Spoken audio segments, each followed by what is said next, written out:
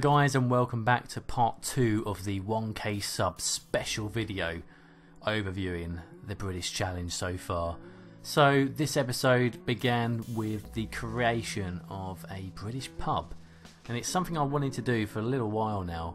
There was a lot of props and assets that don't quite have everything you want on them so I wanted to create a nice pub with a nice garden. And I must say, the detailing really did come a long way um, since the last episode. This is the pub garden I created here, and very basic, but it was a combination of a lot of different sort of ideas. We've got the flower beds, we've got the floor, got the grass risen up area as well. So it was a bit of an experiment, but it really did work in the end, and that was the basis of what I was going to do sort of further forward as well. We also done this little school here as well, which is pretty cool. Episode 19 was the football field, and this was bringing me back to my youth when I used to play Sunday League football. So the idea here was to create a nice sort of football field with a sort of little clubhouse and park around the side and a little car park. Pretty much what we're used to seeing in the UK from anyone playing sort of low, low league football, I guess. Um, and it did work out really well. I did really like the actual um, football field asset itself. It worked in terms of long distance, it worked really well, and you could see it from a high view as well. So that was always good and always a good thing to have in terms of uh, selection of props. And we also done a school over in this corner, along with a small five-a-side football pitch and some tennis courts, and another little sort of school football stadium as well. So combination of them all. This little zone here with the church as well was completed and the detailing of again was very exciting to do and I really did enjoy it. Moving on to episode 20. Now this was one of my absolute favourite episodes to be doing. Now construction sites at this point of the video were becoming very popular in builds from everyone on the sort of community and I wanted to do my own. I was gonna well, I was having an issue whether to use the buildings such as this one here or create something from scratch. So I thought, what better than combine the two together? So I sort of went for a design that looks like it was a early stage at this bottom corner with a sort of halfway through built um, building um, progression in the middle, followed by a pretty much dirt construction site at the far end as well. So the idea and the combination of colours and different textures worked amazingly and I found this wall as well which went around the whole board building site which is something you see very often um, for building sites in the UK also put a big floodlight around and yeah um, I was extremely happy of how this came across and a lot of you guys gave me some very very positive feedback and a lot of you actually went away after and designed your own so that was extremely exciting and very appealing for me to to hear that you used my inspiration to also carry on your own design using some of my techniques. Next, we moved on to episode 21, which is pretty much just building the house and estate out. So I used the foundation and sort of layout of the buildings here from Milton Keynes itself, and I did really like the idea of having these um, sort of boxed house areas with a middle section for sort of park or some description and it seems very common in Milton Keynes that that's how these were built. If I was to do it again, I probably would make sure that the houses I'm using here all lined up. There are a couple that don't, well, is a mismatch basically of different types of houses, which doesn't look the best, but when you zoom out, it does look pretty nice actually having different types and colours um, rather than blocks. So I'm a bit sceptical about which one I'd have gone for, but they both work for me. And I also done this little middle section of a sort of wildlife sort of area, a little pond, um, which was pretty cool as well. But this was all about just expansion. I needed to build out the town, uh, sorry, the city, and sort of get things going, get the actual population built up. So then everyone else was actually moving into other areas, and the sort of industrial area was also actually fully working. We then moved on to episode 22, which was the shopping centre, and this was an absolutely ingenious idea, if I do say so myself. I actually combined a few of these, um, well, the shopping centre together, and way before the prop tool and move it mods, you was unable to actually move these buildings by hand. So what I had to do, I actually had to um, use my initiative a little bit and actually build a road underneath the other building and plop that on top. And obviously, in terms of measurement, etc., you had to be absolutely precise that when that lined up with the road, the two buildings actually overlapped one another. So, despite that being a very difficult thing to do then and very easy now, that was a big accomplishment for me, and I was extremely pleased how that came about. So I also done this little area here. There's a little small town, um, little shopping, um, shopping town centre, I guess. Memorial and a pub in the corner here, another hotel. Just the normal things you tend to find in a town. Sorry, in a city, city centre. Also done a little bus area here as well. I wanted to try and get some buses around this area. I haven't actually till well up till today, I haven't actually done uh, bus stops, but that's sort of in preparation for doing so in a later date. So the next job was in episode 23 to pretty much just detail the shopping centre. And that front of the shopping centre I absolutely adore. We created a little lake in the front with a bridge that went over which if you go back to episode 23 you'll see how long that bugger took. It took a long time to get to work but if you tried that now, it would literally take seconds with all the mods available, um, which was it's disappointing in terms of it could have made my life a lot easier. But in a way, I really enjoyed the sort of frustration and fun of actually getting things to work myself, which aren't meant to work, rather than mods that sort of create things and make them more realistically able to work. So that was interesting. We've done a little market square here as well, but all in all, this area was meant to sort of combine the two. So we've got the city centre shopping hall and also sort of older sort of area of the market square, etc. Episode 24 was next, and we moved on to the creation of a football stadium. And at this point, it was the time when Leicester City had won the Premier League. So, in respect for them, I designed the actual stadium and surroundings. I know the stadium itself isn't exact, but I built the actual foundation exactly as you see it in Google Maps. So, in preparation for their celebrations, I decided to do that, and it came out absolutely fantastic. I was really pleased with how it worked. Um, we built a few other bits and bobs around as well. There was a power station and a few other bits in the corner as well, which you'll see once this swings round. But yep, overall, this car park as well came out absolutely brilliantly. I know now with the new decor it will look a lot better, but going back over work you've done is not the best.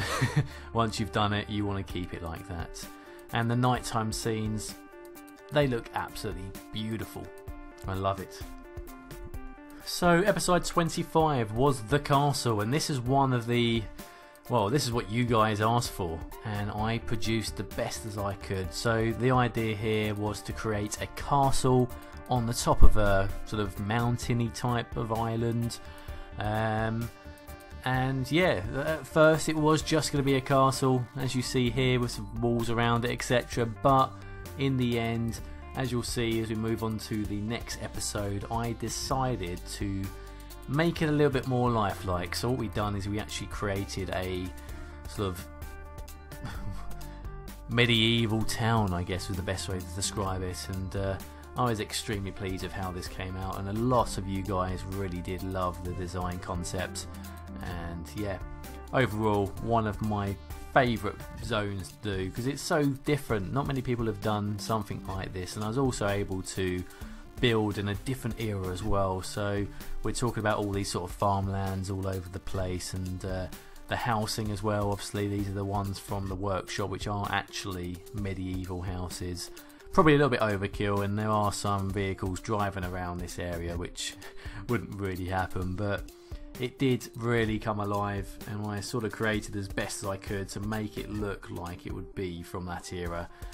Um, but yeah, like I say, this was more of a little exciting project than um, something to be more realistic. In the end, I sort of classed it as a medieval reenactment um, sort of town.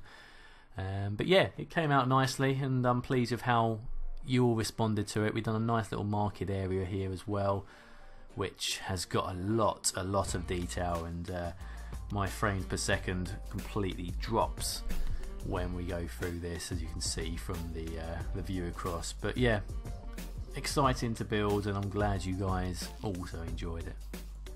So this leads us on to the music festival, which out of every single video has got the biggest amount of clicks and I'm extremely happy with with that in fact. Um, I mean it started out with just building this one stand.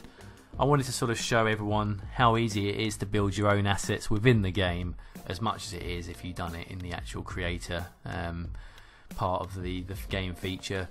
But I personally prefer to do it in game and I wanted to show that across here. So we've done a small stage here. As you can see had to improvise, improvise a few times um, but this did get a lot of talk on uh, Reddit and other videos and uh, a lot of comments in the description um, in, well in the description of the video. And I wanted to create something with light as well. So as you can see here I spent a lot of time creating this stage. We've got all different sorts of things put together. And we got the main stages done in the end. We've done three. Um, and this was when all the good mods came into play so move it came into play which really did help a lot when building this as you was able to see if you watch the videos back you can see how easy it makes life when you're able to copy and paste parts and, and make well move them around because that's the only way I was able to create these lights and add things onto already um, assets. So this was more of an exciting episode because not just because of the feedback and the number of clicks that you all gave it, but because I was able to try something completely different and I could also spend a lot of time working and well working out the new mod tools, which was really exciting. Episode 29 was the completion of the music festival, and this this looks amazing. It's not often that I can sit back with my work and really, really say how pleased I am, but this in particular really did. It, it ticks all the boxes. You've got the lovely little cabin site in the corner. The floors just look absolutely amazing, and all the people as well scattered around. It took many, many hours, but what this ended up being is pure beauty. I think out of all of my builds so far, this one looks the most alive and realistic. I know these people are props and they aren't moving around, but just looking at it gives you that feeling of a, you know, just zooming through a stage like Glastonbury or something like that with the little tents in the corners as well, with the bars, etc. We've got a little food and eating area, all the portaloos. Got this Ferris wheel as well. It's got everything that you would imagine to see at a festival. We got the big TVs as well in the background. So, in terms of realism, I think it ticks all the boxes. If I was going to do something different, maybe I could have made the people a little bit more um, less boxy in the main areas, as you can see, where they're all grouped together. It was because I copied and pasted them, to be honest. Um, but when you look at views like this, the nighttime scene looks incredible. I added some extra lights around uh, behind the stage and also all over the place, so you can see how alive it becomes when you add these light details. And I really do love the camping zone. I even put some lights inside some of the tents and the the light that it gives off gives that feeling that people are in there with their sort of torches or lights on and again realism is really really what I love about this game and it, this was my favourite by all means this was my favourite episode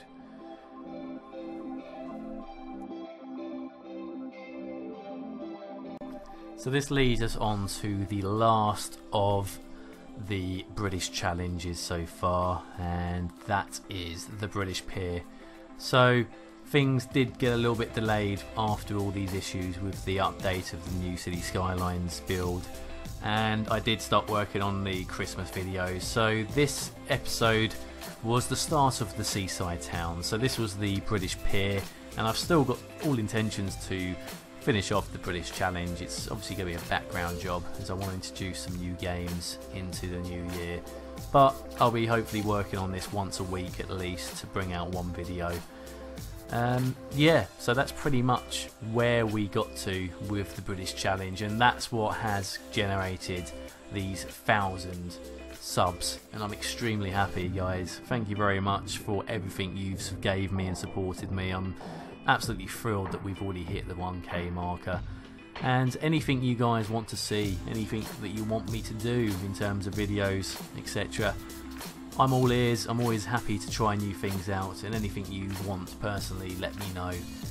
Other than that, guys, it's Christmas Eve.